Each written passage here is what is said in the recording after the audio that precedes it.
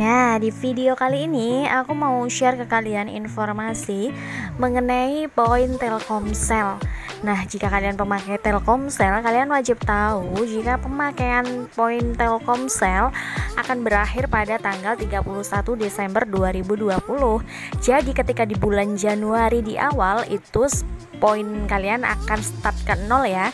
Jadi kalian wajib manfaatkan poin kalian sebelum poin kalian hangus. Nah, di sini aku akan share lagi ke kalian bagaimana cara menukarkan saldo link aja atau saldo cash yang kita dapat dari penukaran poin Telkomsel kita menjadi pulsa atau menjadi saldo bonus di link aja. Nah, sebenarnya saya sudah pernah share juga bagaimana cara penukaran poin Telkomsel menjadi saldo bonus atau tukar dengan pulsa. Itu juga ada videonya di atas. Kalian bisa lihat dari pertama hingga akhir. Kemudian untuk penukaran dan tips atau trik supaya kalian tidak gagal beli pulsa dengan menukarkan saldo bonus juga sudah ada ya di video saya di atas. Kalian juga bisa nonton di situ lebih detailnya. Nah, di sini saya akan tunjukkan lagi tetapi dengan garis besarnya ya. Nah, pertama-tama kalian buka uh, akun link aja kalian yang sudah kalian download di Play Store ya. Kemudian di situ saya akan klik saldo bonus. Nah, di sini saldo bonus saya ada 15.000. Nah, ini saya tukarkan di tanggal 10 bulan Desember kemarin ya. Nah, setelah itu di sini saya akan cek di My Telkomsel. Nah, sisa pulsa saya berapa untuk pembuktian ya, bahwasannya nanti memang benar-benar masuk kayak gitu. Oke kita tunggu prosesnya. Prosesnya agak lama karena di sini sinyalnya agak in out gitu loh. Nah ini udah oke udah masuk. Nah di situ pulsa saya ada 1593 rupiah ya.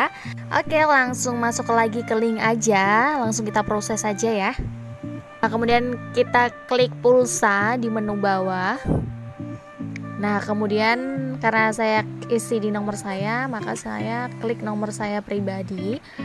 Kemudian saya pilih pulsa yang 5000 dengan harga 6300. Kemudian klik konfirmasi dan kemudian kalian akan diminta untuk memasukkan PIN kalian. Nah, kemudian setelah kalian masukkan, transaksi kalian akan diproses. Kalian tunggu sebentar dan nanti bakalan ada SMS masuk. Nah, ini udah ada SMS masuk. Nah, kita cek SMS-nya bahwasanya pulsa 5000 yang kita beli sudah berhasil masuk ya. Kemudian untuk di link aja sudah berhasil. Nah, kita klik transaksi dan kita lihat saldo bonus kita pasti sudah berkurang. Nah, kemudian kita cek di My Telkomsel untuk membuktikan bahwasanya pulsa yang kita beli memang sudah masuk ya dan pulsa kita sudah bertambah.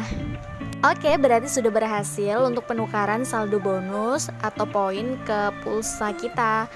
Nah, di sini saya juga akan ngasih informasi. Nah, di sini kan sekarang sudah bulan Desember ya dan sebentar lagi itu udah mau akhir bulan. Nah, biasanya di akhir bulan seperti ini saya itu suka lupa dengan kalender atau sesuatu yang mungkin nggak begitu penting tapi juga dikatakan penting juga. Nah, jadi di sisa poin saya saya akan tukarkan menjadi salah satu yang bisa bermanfaat. Nah, contohnya Nah, bisa kita tukarkan menjadi lucky draw atau donasi. Ya pokoknya yang bermanfaat lah biar nggak mubazir dan pastinya bisa memberikan manfaat yang lainnya seperti itu. Nah, untuk caranya kalian akses di bintang 700 pagar ya dan oke. Okay. Kemudian akan muncul seperti ini dan di sini saya akan pilih nomor satu yaitu tukar lucky draw dengan poin saya. Nah, tuliskan nomor satu kemudian kirimkan. Nah, kemudian di sini saya pilih nomor 2 untuk tukar poin.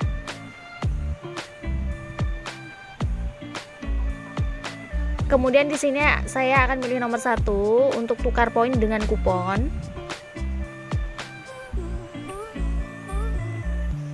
Nah, kemudian saya pilih satu untuk iya, kemudian kirimkan. Dan kemudian saya akan akses lagi. Dan saya akan menukarkan poin saya kembali yaitu dengan nomor 3 yaitu donasi. Kemudian klik nomor satu. Dan kirimkan. Kemudian akan muncul tampilan seperti ini. Nah, Anda akan menukarkan 50 poin untuk beasiswa Telkomsel. Kalian ketik satu atau iya, kemudian kirimkan. Nah, itu tadi ya cara menukarkan saldo bonus menjadi pulsa dan juga memanfaatkan poin kalian untuk menukarkan sesuatu hal yang bermanfaat. Hmm, daripada hangus, mending ditukarkan saja ya kan. Nah, sekian video saya kali ini. Semoga video ini bisa membantu kalian. Kalian bisa share di media sosial kalian ya. Dan pastikan kalian sudah subscribe dan nyalakan notifikasi kalian supaya kalian tidak ketinggalan video dari saya. Sekian dari saya dan see you the next video. Bye-bye.